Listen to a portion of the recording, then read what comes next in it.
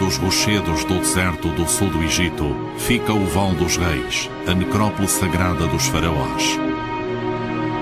Abrigou em tempos a maior concentração de ricos túmulos que o mundo já viu. Foi aqui que, em 1922, Howard Carter descobriu o túmulo do jovem rei Tutankhamon. Mas onde estão os túmulos pertencentes aos outros membros da família real? A rainha Nefertiti, um ícone quase tão importante como Tutankhamon, era também sua madrasta e uma das mais belas e poderosas mulheres do mundo antigo. Onde foi enterrada?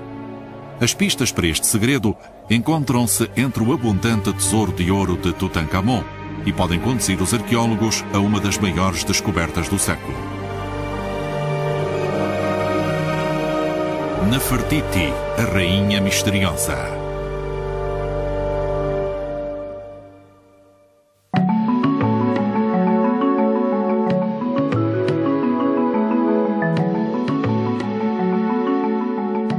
Início do século XX, o arqueólogo amador americano Theodore M. Davis disse que esperava encontrar todos os anos um novo túmulo.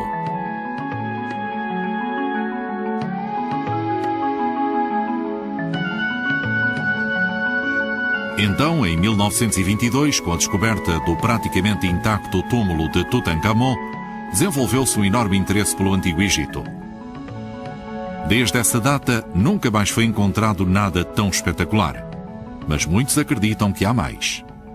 I still say all the time that you never know what the sand of Egypt may hide of secrets. And this why I believe until today we discovered only 30% of our monuments. Still 70% is buried underneath the ground.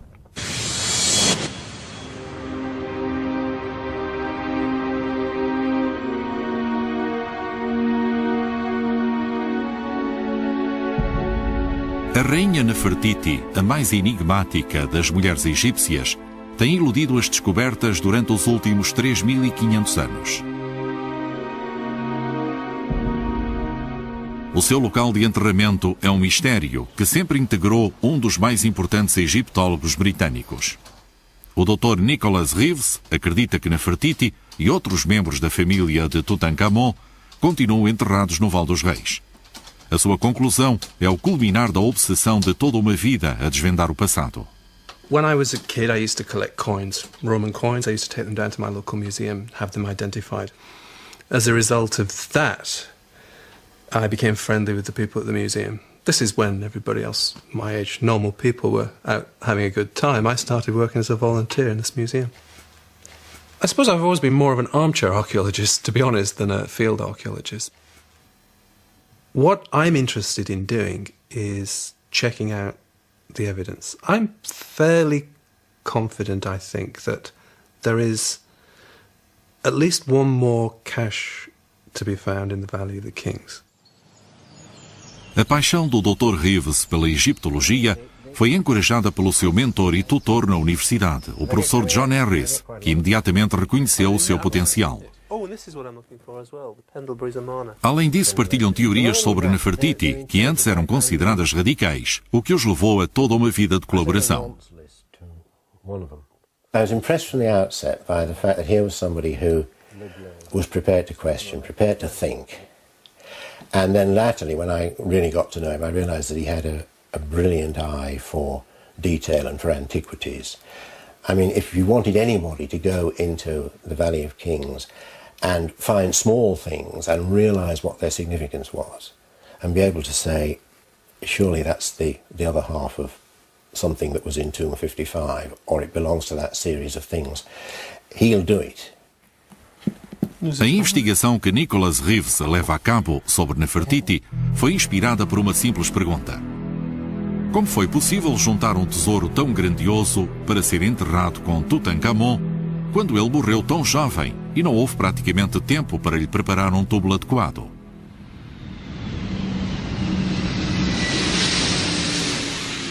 É uma história de detetives que levou o Dr. Reeves a percorrer o mundo para apresentar a sua nova e excitante teoria e ganhar apoios. Tonight, uh, we have a great pleasure of welcoming Dr. Nicholas Reeves. He's former curator of Egyptian antiquities at the British Museum and is currently visiting curator at Eton College. So, uh, without further ado, I'll have him speak to you. Nicholas Reeves espera realizar no Val dos Reis a maior escavação desde 1922, que pode produzir resultados tão excitantes como a própria descoberta do corpo do jovem rei. On the evening of 26th of November 1922, Howard Carter and his sponsor, the 5th Earl of Carnarvon, gingerly pushed a, a lighted candle through the hole they'd made in the tomb's still sealed blocking. At first I could see nothing, Carter later wrote. O ar quente que saía da câmara fazia tremelicar a chama. Mas à medida que os meus olhos se habituavam à luz, lentamente comecei a perceber na obscuridade os detalhes da sala. Estranhos animais, estátuas e ouro por todo o lado, o brilho do ouro. Quando Lord Carnarvon, incapaz de suster o suspense por mais tempo, me perguntou ansioso: Vê alguma coisa? As únicas palavras que consegui pronunciar foram: Sim, coisas maravilhosas.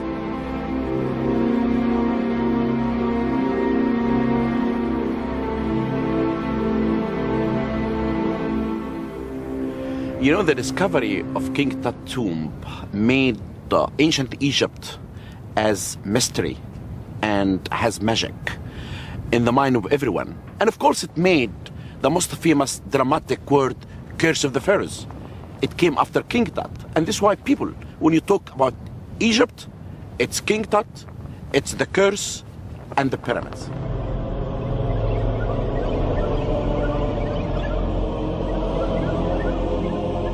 A maldição dos faraós baseou-se em vários eventos inexplicados, a quando das descobertas em 1922.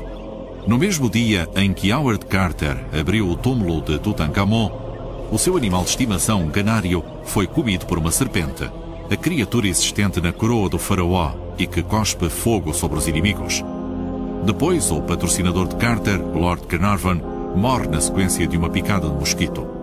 Mais estranho ainda, no momento exato da morte de Carnarvon, todas as luzes se apagam no Cairo, enquanto em Inglaterra o seu cão uiva e morre. Apesar da maldição, Carter viveu até tarde.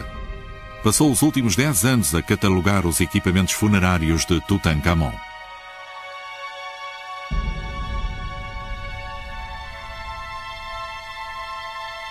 Entre estes tesouros estavam as pistas que levariam Nicholas Reeves a compreender o que aconteceu realmente durante um dos períodos mais dramáticos da história do Antigo Egito.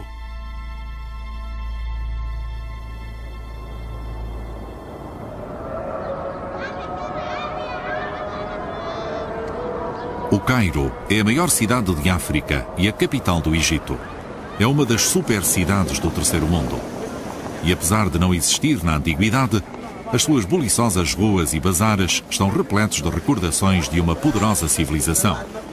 Entre contas e bugigangas avultam as imagens do jovem rei Tutankhamon, de Nefertiti e do seu marido, o faraó Akhenaton, o pai de Tutankhamon. Os seus rostos são hoje símbolos do mundo egípcio antigo, mas a história que ocultam está envolta em mistério, intriga política e agitação religiosa sem par.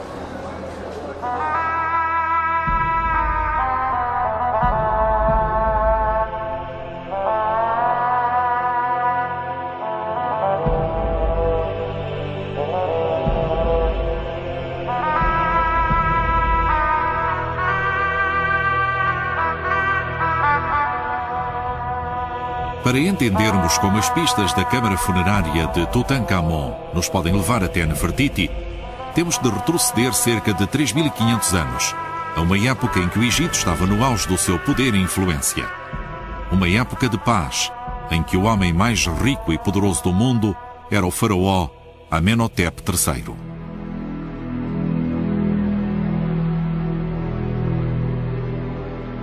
Os egípcios acreditavam em vários deuses.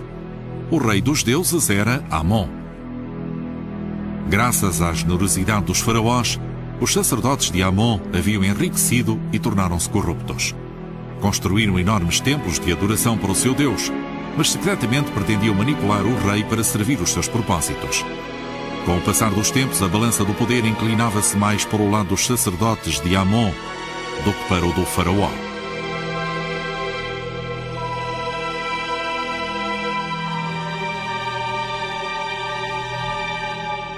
Embora mantivesse a adoração a Amon, Amenhotep III identificava-se pessoalmente com Aton, ou seja, o disco solar, uma manifestação do deus solar, e empenhou-se em restabelecer o poder faraónico tal como existira na época das pirâmides.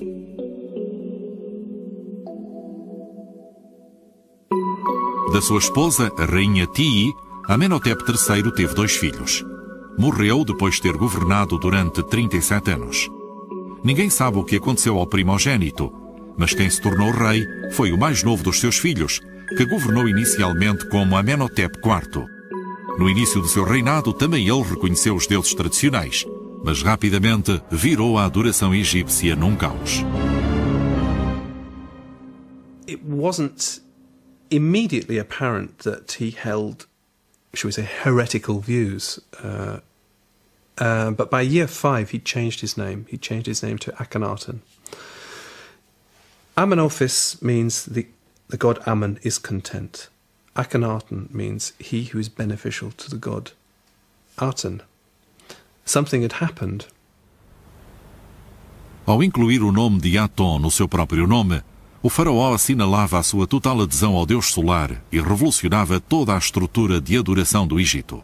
Akhenaton renunciou a todos os outros deuses, um ato que deve ter tido um impacto devastador nos seus sacerdotes e adoradores, e com isso ganhou o título de rei herético. when Akhenaten, it changed the whole country to the new religion. I believe that the eyes of the one million and a half Egyptian who lived in Egypt in that time were open. Akhenaten is crazy. A busca de Nefertiti leva-nos a 450 km a sul do Cairo, a El Amarna, no centro do Egito. As férteis margens do rio Nilo são trabalhadas hoje praticamente da mesma forma como eram há 3.500 anos atrás.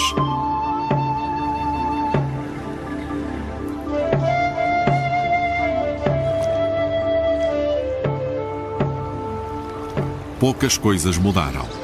As armas de fogo podem ter substituído o arco e a lança, mas o fervor religioso é tão forte como o de outrora.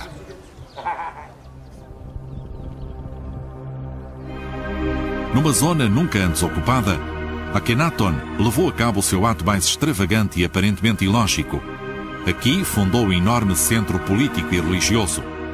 Chamou esta nova capital Akhenaton, que significa Horizonte de Aton. Atualmente é conhecida como Amarna.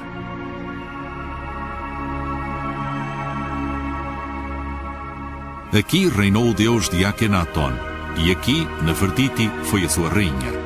Ela deu ao faraó seis filhos, todas raparigas. Foi Kia, uma mulher de estatuto inferior, quem deu à luz Tutankhamon, o herdeiro do rei, chamado então Tutankhaton. Só no século XIX a Marna ganhou importância, quando uma camponesa, escavando numas ruínas, encontrou uma caixa. A caixa continha cerca de 300 tabuinhas de argila que constituíam o único arquivo diplomático do século XIV a.C. Era a correspondência trocada entre os governantes e as principais figuras do mundo antigo. Um testemunho que mostrava a intimidade de reis e governos. Um raio de luz lançado sobre as personagens do período e sobre o império destinado ao colapso.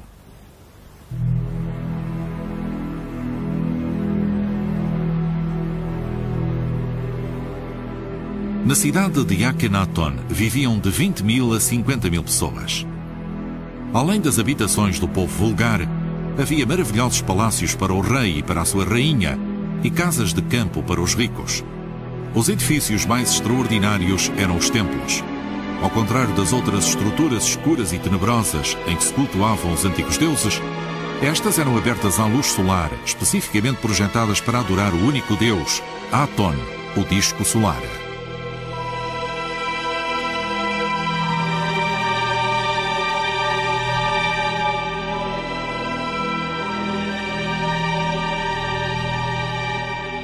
Apesar da abertura da arquitetura do templo, a nova religião de Akhenaton era ainda mais reservada do que a tradicional religião egípcia. Só o rei e a sua família próxima tinham acesso direto ao deus Aton. Os restantes homens e mulheres vulgares só podiam realizar a sua adoração através deles.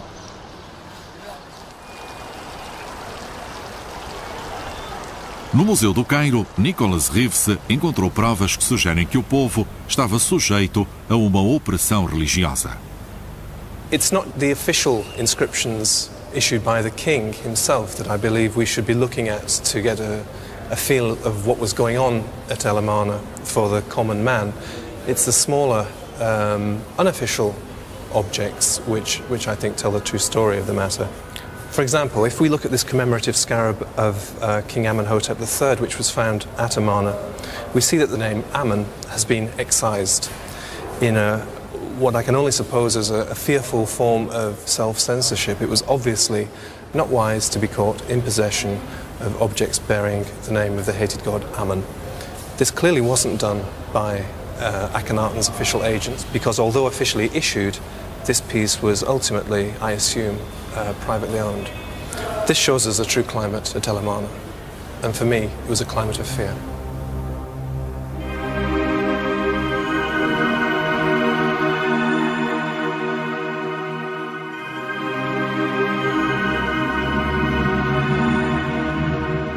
if there is one king will come to them and say this is wrong there is another god a powerful god behind the sun.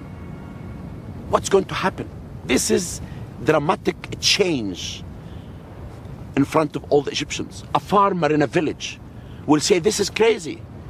A priest he will say i will kill him. Then there was a whole the whole country was against this man. But this man Eknaton was only supported by one powerful lady, Nefertiti. Nefertiti, cujo nome significa a bela que chegou, parece ter sido ao princípio a maior aliada de Akhenaton, além de sua mulher principal e rainha.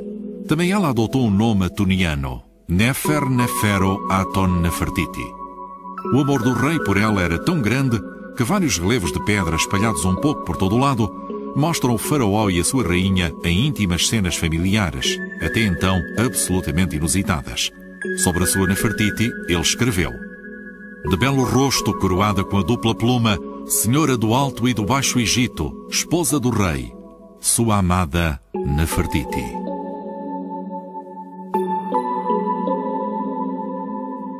A lenda da sua enorme beleza continua a fascinar os eruditos de todo o mundo.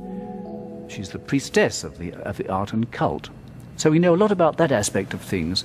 One gets a strong sense that she was also very powerful uh, behind the scenes in the administration of the period. She had great influence, one imagines, on her husband.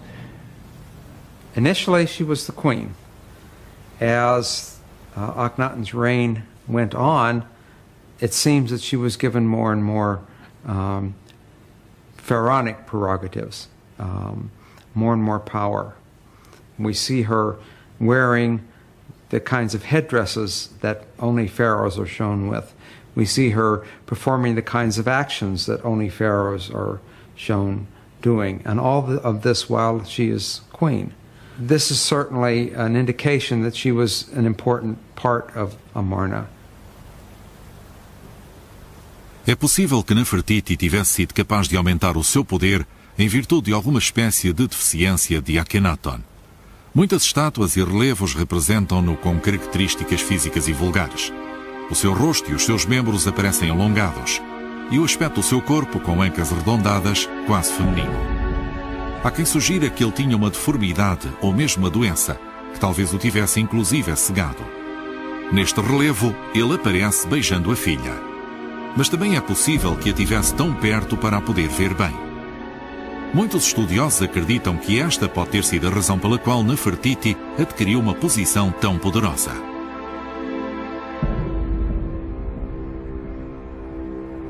You know, Nefertiti has an aura surrounding her.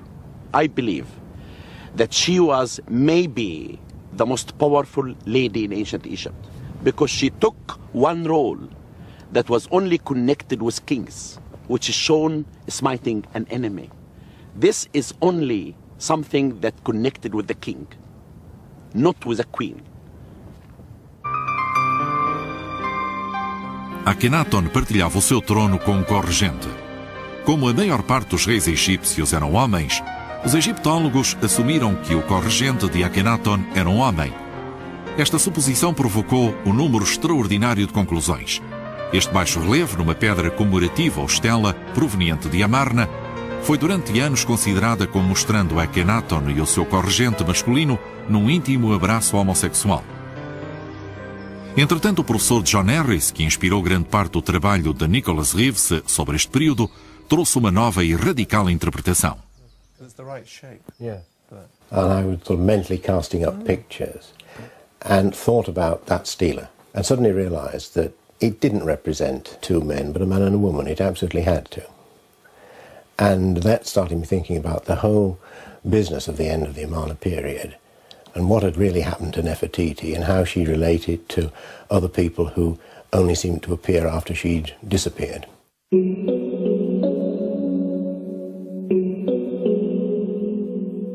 What's certain is that Akhenaten had a co-regent. What is certain also is that the name of the co-regent was Nefer Neferu Aten. This name was a name that was used by Nefertiti. That, plus some pictorial evidence, seems to point to um, Nefertiti uh, being appointed from queen to co-regent at the end of Akhenaten's reign.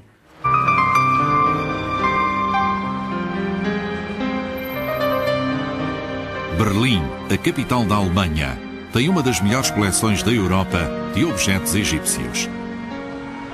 E aqui, no Museu Stadtliche, o Dr. Reeves encontrou mais provas para apoiar a sua teoria de que Nefertiti foi corregente. O nome de um rei ou de uma rainha é normalmente colocado no interior de uma cartela.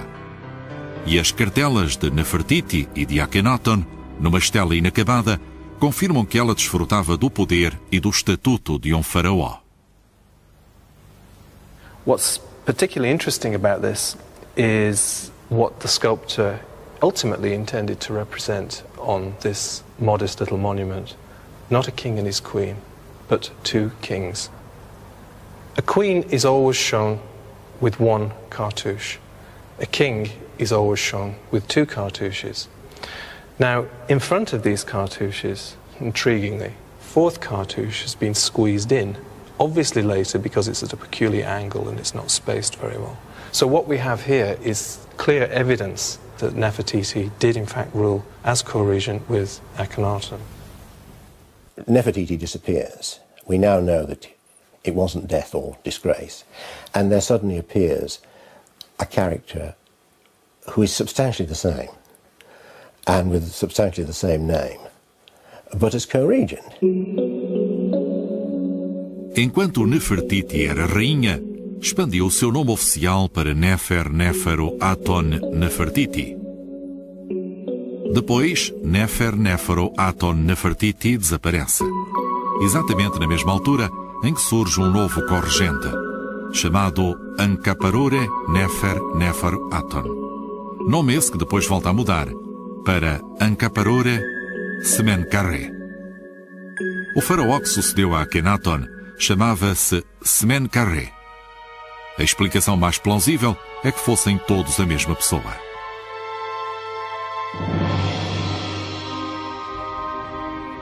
Em Amarna há também mais provas evidentes de que Nefertiti recebeu o mesmo estatuto de um faraó.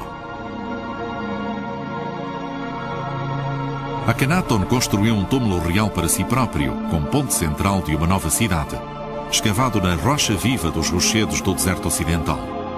Para os habitantes da cidade, o sol parecia nascer nesse local, entre uma depressão natural das montanhas. E era aqui que renascia, todos os dias, o próprio poder régio de Aton.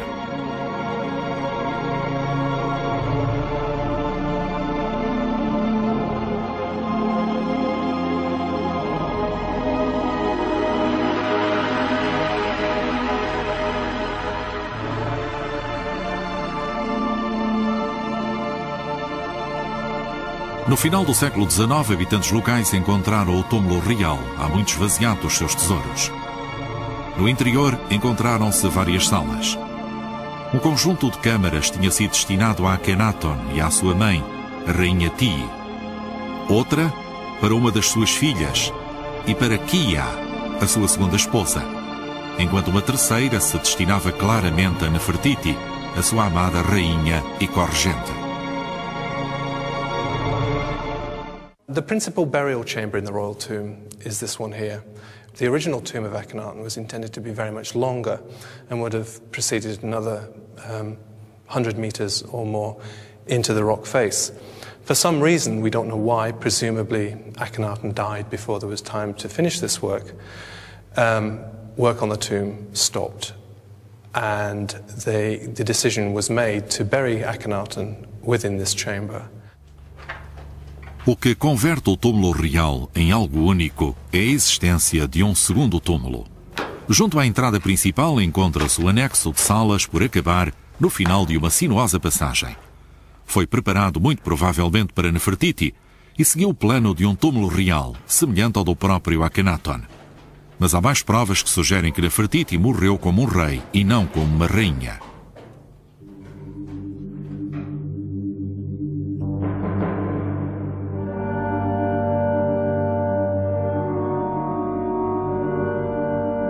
Em 1912, um grupo de arqueólogos alemães começou a escavar em Amarna, em casas de campo privadas da cidade de Akhenaton. Encontraram uma oficina de um artista com muitas esculturas ainda no local. Uma era especial. Estava de cabeça para baixo e foi recuperada no seu estado original. Miraculosamente preservado pela areia, o busto de Nefertiti tornar-se-ia um dos mais famosos ícones do Egito.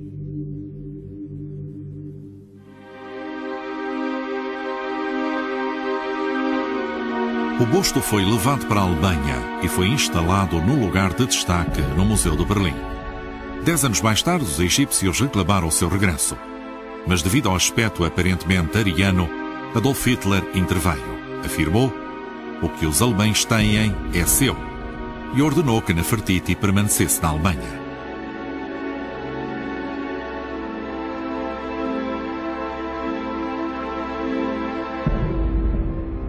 Quando os arqueólogos alemães descobriram a cabeça de Nefertiti, na mesma pequena sala encontraram também o busto do seu companheiro.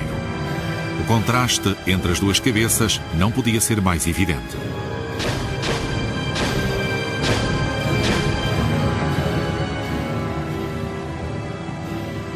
Enquanto a beleza de Nefertiti sobreviveu a todos os elementos e a 3.500 anos, a cabeça de Akhenaton estava feita em pedaços. Akhenaten's sculpture has been utterly destroyed. The eyes have been poked out so that it couldn't see, the nose has been destroyed so that it couldn't breathe, and the mouth has been smashed so that it couldn't partake of food. The symbol of kingship, the royal cobra, has been removed. Não foi só uma cabeça a ser esmagada. Houve um movimento organizado que, com o tempo, eliminaria toda a memória de Akhenaton e de todo o período amarniano. Porque foi Nefertiti poupada.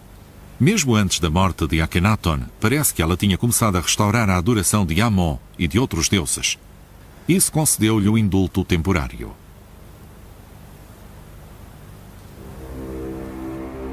Depois da morte de Akhenaton, o herdeiro legítimo do trono era o seu afilhado Tutankhamon. Mas parece que Nefertiti tentou conservar o poder de uma forma extraordinária e radical, recorrendo ao rei de uma potência rival, os Hititas.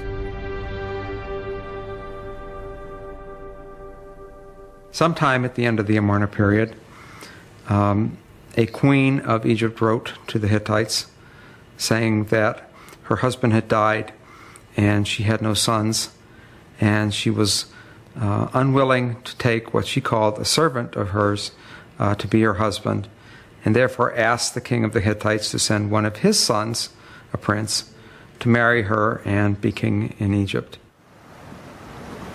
Mesmo quando o rei Hitita finalmente acedeu, tal casamento aos olhos egípcios teria sido a pior das traições. E quando o príncipe Hitita, chamado Zanansa, estava a caminho do Egito, foi assassinado. Pouco depois, a própria Nefertiti desapareceu e Tutankhamon tornou-se rei. Para a cidade de Akhenaton, os dias de glória chegavam ao fim. Tebas, a antiga capital religiosa, voltava a ser favorecida. No total, o período amarniano durou menos de duas décadas e, no final, os sacerdotes de Amon voltavam a ter o controle.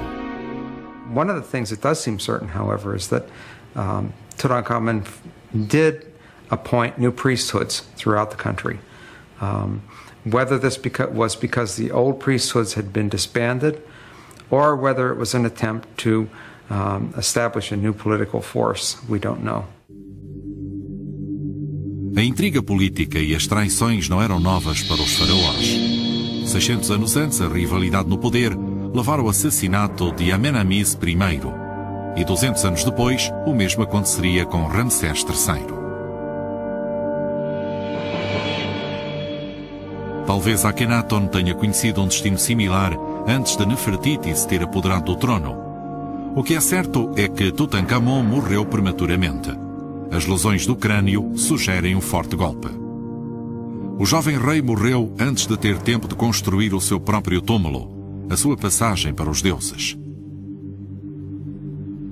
A sorte recaiu no seu sucessor e guardião, um militar chamado Ai, que se pensa ser o pai de Nefertiti. Antes de subir ao trono, Aí tinha, como era costume, de preparar um funeral digno para o jovem no ancestral cemitério do Val dos Reis. Mas só tinha 70 dias, o tempo tradicionalmente requerido para o processo e os rituais da mumificação. O que conseguiu foi assombroso, como revelou a descoberta de Carter e de Carnarvon em 1922. Mas como conseguiu? Tratar do próprio túmulo era fácil.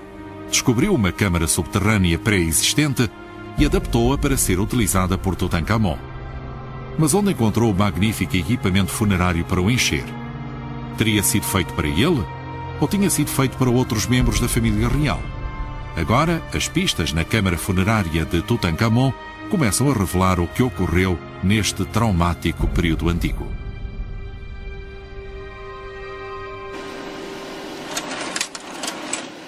Only the smallest proportion of Tutankhamun's treasures had ever been prepared with him in mind. Nicholas Reeves encontrou a resposta. Não havia tempo para começar do zero. Aí, simplesmente saqueou os túmulos de Akhenaton e de Nefertiti, em Amarna.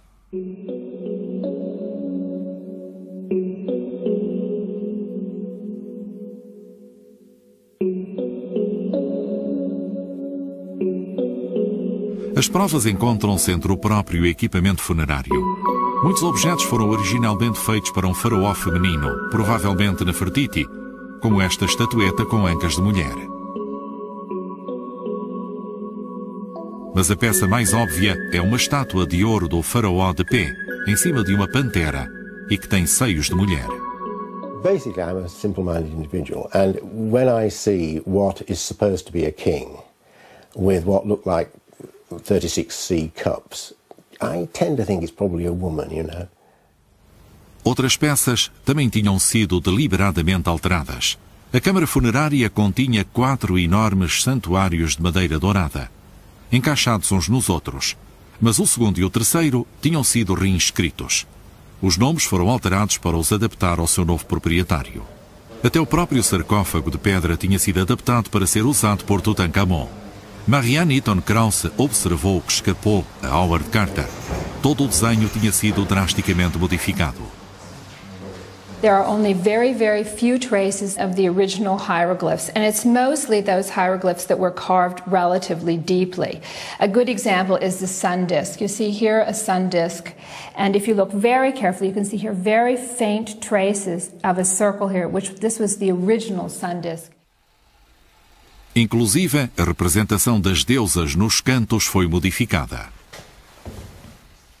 In the original version of the decoration, these goddesses did not have wings as you see them now. They simply stood at the four corners of the box with their arms outstretched. As asas só aparecem nos sarcófagos dos faraós homens. Assim, este acréscimo tardio poderia significar que o sarcófago foi originalmente preparado para uma mulher. Poderiam os egípcios tê-lo feito para o antecessor de Tutankhamon? Seria o de Nefertiti? Nicholas Reeves descobriu que mesmo os sarcófagos mostravam sinais de terem sido modificados. Tutankhamon é representado na tampa do sarcófago de fora usando um tocado usado somente por Akhenaton. As inscrições no caixão do meio tinham sido alteradas. E o desenho do sarcófago mostra ter sido originalmente construído para uma mulher. Mesmo o sarcófago interior tinha sido modificado. Por cima da gravação original, tinha sido acrescentada toda uma segunda camada de decoração.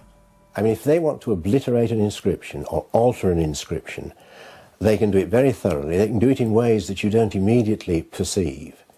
I mean, if, for example, you've got a strip of inlaid hieroglyphs with a cartouche, uh, and you simply take the centre out of the cartouche and put a new one in, you're never going to know. It, it, it's almost uh, undetectable. A mudança mais surpreendente de todas, contudo, foi aquela que foi praticada na mais famosa imagem de Tutankhamon, a sua máscara de ouro. Um exame minucioso por detrás da orelha revela uma junta, e por dentro há remates que unem o rosto que foi modelado separadamente. O rosto original foi removido e substituído pela máscara de Tutankhamon. Os surpreendentes 80% do equipamento funerário de Tutankhamon eram em segunda mão. Não restam dúvidas de que os ricamente fornecidos túmulos reais de Amarna tinham sido saqueados para equipar o de Tutankhamon. Mas se Akhenaton e Nefertiti tinham sido despojados de todos os seus tesouros, o que fizeram os egípcios com os seus corpos? The Amarna necropolis is very remote. and very difficult to guard in antiquity. So it's highly likely that they would have decided, for security reasons, to uh, remove the bodies from the royal tomb at El Amarna and from other tombs in the area and take them back to, or to take them to the ancestral burial grounds, which were Thebes. A distância entre os túmulos reais de Amarna e o Val dos Reis, em Tebas, é de mais de 400 quilómetros. A maior parte da viagem fazia-se de barco pelo rio Nilo. Este foi o caminho que fez o cortejo fúnebre de Amarna. E este foi o caminho que as múmias tiveram de fazer. Em 1907, o americano Theodore Davis encontrou um misterioso túmulo no Val dos Reis. Começou a ser conhecido por KV-55 e era a chave para se perceber o que aconteceu aos mortos de Amarna. Foram reenterrados em Tebas com o equipamento funerário de que Tutankhamon não necessitou. Tomb 55 originally contained two bodies. One of these was, I believe, very strongly the body of Akhenaten, and the other was the body of Queen T, who was Akhenaten's mother. Now, these two had be originally been buried together in the royal tomb at Amarna in the principal chamber, so it makes sense to, to see them having been brought to, to Thebes together. No interior do KV-55, Davis encontrou somente um sarcófago reutilizado, um corpo e alguns tijolos com o nome de Akhenaton. Havia também um altar dourado com o nome da rainha Tie, que fora desmantelado. Na antiguidade, o túmulo tinha sido violado, e o que era impressionante é que a identidade da múmia tinha sido esquecida. Haviam arrancado a máscara e suprimido as cartelas. Até o próprio corpo tinha sido profanado e o rosto fora provavelmente esmagado com uma pedra quando os violadores deixaram o túmulo. A identidade e a idade do corpo foram discutidas durante anos. Embora o crânio estivesse quebrado, as análises com raio-x sugeriram uma relação de parentesco próxima com Tutankhamon. Não obstante, em 1988, o corpo do túmulo 55 foi examinado em detalhe por um dentista de Michigan um médico e antropólogo egípcio. Compararam-no com outras múmias reais. The, the skull um, was always most similar to that of Tutankhamun of all the skulls that we studied, all the heads that we studied. But when we reassembled it so that it was functionally correct, then it was even more similar to that of Tutankhamun. But you see a, a very similar maxilla in, in that of Tutankhamun and the maxilla Uma semelhança tão estreita confirmava que os corpos estavam intimamente relacionados. A primeira suposição foi de que se tratava da rainha Tia, a avó de Tutankhamon. Mas agora os peritos reexaminaram os ossos e surgiu uma nova teoria. Our conclusion was that this is a male, but a very slight male, a very, a very fragile build. Uh, one can understand why the first physician who saw for the first time uh, in 1907 this mummy thought that it was a female. And, and, Egyptologists and archaeologists, biologists have made this mistake before, where they have they have been incorrect in sexing skeletons because we use our modern standards to look at an ancient specimen. Mas poderiam eles indicar a sua idade? But we had an advantage that the other people didn't have. Uh, we have X-rays of the entire skeleton, including the long bones, and the X-rays gave us another dimension that they didn't have. So we did have an opportunity to perhaps refine their estimate. But certainly, if Tutankhamun, let's say for a standard was around 20 when he died, uh, certainly to, the mummy from Tomb 55 has to be considerably older. But our guess, best guess is between uh, uh, 30, ages of 35 and 40. Anatomicamente, há apenas dúvida de que o corpo do túmulo 55 seja o do próprio Akhenaton, o pai de Tutankhamon. O que é significativo é que o corpo não tenha sido abandonado, como alguns julgavam que pudesse ter acontecido, mas sim cuidadosamente reenterrado numa réplica virtual da principal câmara funerária de Amarna. Então, o que aconteceu a Nefertiti? Presumably at the same time that Akhenaten and his mother T were brought from Amarna for safekeeping, one has to assume that Nefertiti was brought at the same time.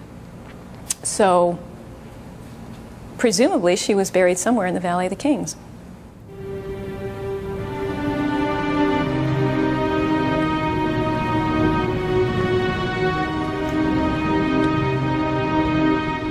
Parece que toda a família real foi trazida de Amarna e enterrada em segurança em Tebas, no Val dos Reis. Mas cerca de mil antes de Cristo, a administração oficial do Egito decidiu abandonar este cemitério real, tal como fizera com o de Amarna, 300 anos antes. Todos os túmulos conhecidos foram esvaziados e os seus tesouros recuperados.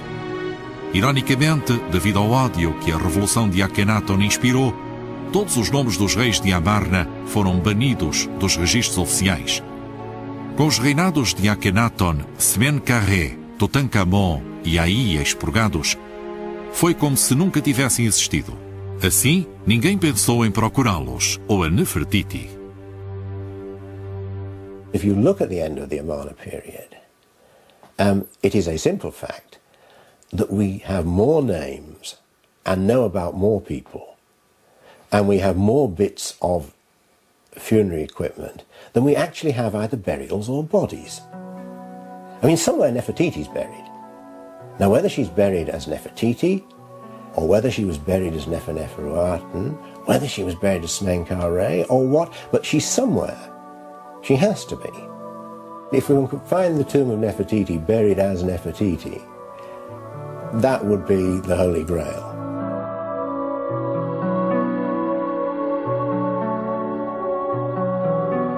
Em 1922, o Serviço de Antiguidades Egípcias concedeu a Howard Carter permissão para escavar numa área final do Val dos Reis. Ele encontrou o túmulo de Tutankhamon quase imediatamente. Assim, não precisou mais de escavar. Though Carter seems to have been fairly careful in his search for Tutankhamun's tomb, he did stop when he found it and didn't finish that one small area that he had left for last. And this one little section not far from Tut's tomb is a logical place to look. Há provas evidentes de que pode ser a localização dos túmulos que estão por descobrir. Em 1978, uma equipa experimental do Stanford Research Institute, dirigida pelo geofísico Lambert Dolphin, levou uma equipa de sondagem sísmica para detectar túmulos não descobertos no Val dos Reis. Em primeiro lugar, instalaram-se num túmulo situado acima do de Tutankhamon e apontaram o sonar para baixo, em direção ao túmulo do jovem rei, para controlar e avaliar os níveis de ressonância. Depois, mudaram-se para o túmulo de Tutankhamon e apontaram o sonar para a concessão não escavada por Carter. the Valley of the Kings has tombs in it. It's filled with tombs. But it also is a highly faulted, irregular geological area. Uh, the natural faulting is very complex. So therefore, one gets seismic reflections from every crack and every boulder and every uh, geological interface in the valley. So uh, we were overwhelmed with a lot of echoes. However, there were some very striking anomalies which we feel pointed to unknown tombs in the Valley of the Kings. Os reflexos acústicos indicavam túmulos desconhecidos exatamente no mesmo triângulo que Howard Carter reservou para escavação, mas que deixou por acabar. Our work in King Tut's tomb, and uh, I think, convinced us that we were looking at unknown chambers, uh, one or more unknown chambers that probably were not geologic, or probably were undiscovered tombs. It was very, very exciting at the time. Nos últimos 75 anos não fora autorizada nenhuma escavação importante no Val dos Reis. Agora, pela primeira vez desde a descoberta do túmulo de Tutankhamon, o Serviço de Antiguidades Egípcias, em resultado da extensa investigação do Dr. Rivse, dera-lhe permissão a ele e à sua equipa de especialistas. Como se sente? Nervous, yes, I suppose nervous. Um, I think undertaking any kind of work in a in a in an area like the Valley of the Kings is, is pretty high pressure stuff. People have expectations which might be quite unreal. Se o Dr. Rivse encontrar o túmulo de Nefertiti, o mistério em volta da rainha dos faraós pode finalmente ser resolvido. Mas qual é a atitude contemporânea em relação à maldição de Tutankhamon? Estarão perigos desconhecidos à espera? You know, if you discover a tomb here and you enter this tomb for the first time, you would be hidden by germs that no one can see. And this is what happened to Lord Carnarvon. And this is why I advise my colleagues all the time. If we discover a tomb, you open it for two days until the bad air will go out and the fresh air will go in. And also, you never shave when you are excavating. Because if you shave, this will be open for any germs to hit you. Then the word curse, if you look at it, it doesn't really exist. E se os arqueólogos encontrarem um túmulo e não houver qualquer tesouro, ficarão decepcionados? When Tutankhamun's tomb was first discovered, what got people excited was the possibility that there might be written documents coming out of that tomb that would tell us what the period was all about. And of course, there was nothing. Um, so if another tomb is discovered, the big hope is not that it's full of gold and gold statues. We've got that. We've got that from Tutankhamun's tomb already. What we want are the documents. We want the history.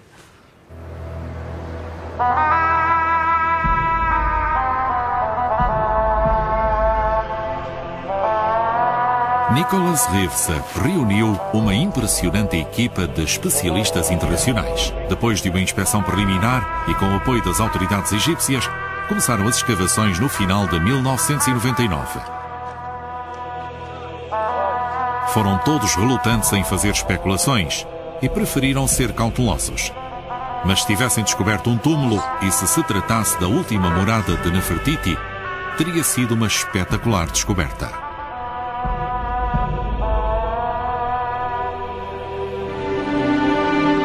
When I go to the Valley of the Kings, when the sun sets, it's to me like it sits on one tomb that's not discovered yet.